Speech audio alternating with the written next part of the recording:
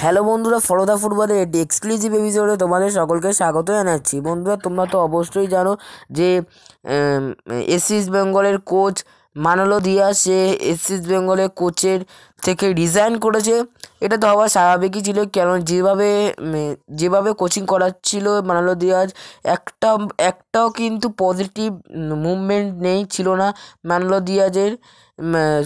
প্লেয়ারদের সঙ্গেও সেরকম সম্পর্ক ভালো ছিল না মানলো দিয়াজে সেই জন্য অবশ্যই মানলো দিয়াজ যে ইস্ট বেঙ্গল কোচ থেকে পদত্যাগ করবে, এটা তো সবাই জানতো এবং সেটাই সত্যি হলো অবশেষে।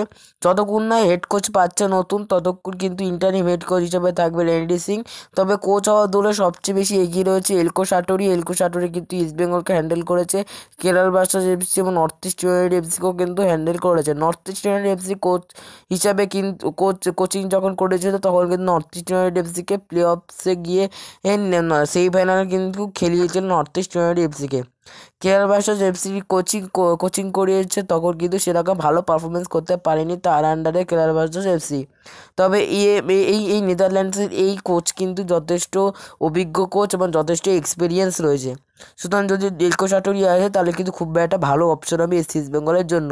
তবে তবে আরও একটি আরও নাম আর রয়েছে, সেটা হচ্ছে মারিও রিবেরাই। মারিও রিবেরা কিন্তু SC East Bengal assistant coach ছিল এবং ইন্টারিম হেড কোচও হয়েছিল। আলিয়ান্দো মেনান্দেজ গার্সিয়ার সঙ্গে কিন্তু ইনি ইস্ট বেঙ্গলের কোচিং ইস্ট বেঙ্গলের কোচিং করাতে এসেছিল। তবে আলিয়ান্দো রিজাইন করার পর কিন্তু ইনি ইস্ট বেঙ্গলকে কিন্তু হ্যান্ডেল করেছে। তবে সবচেয়ে বেশি খুশি হব যাতে এলকো চাটুরি ইস্ট বেঙ্গলের কোচিং করাতে আসে আসে। কারণ এলকো চাটুরির কাছে কিন্তু আইএসএল একটি এক্সপিরিয়েন্স রয়েছে। সুতরাং দেখা যাবে যে ইলকু চাটুরি না মারিও রিবলা নাকি অন্য কোনো ইন্ডিয়ান কোচ আছে, এখন সেটাই দেখার। এক ভিডিওটি এখানে এন্ড করছি। ভিডিওটি ভালো লাগলে লাইক করো কমেন্ট করো। দেখা হচ্ছে নেক্সট ভিডিওতে ততক্ষণ জন্য বাই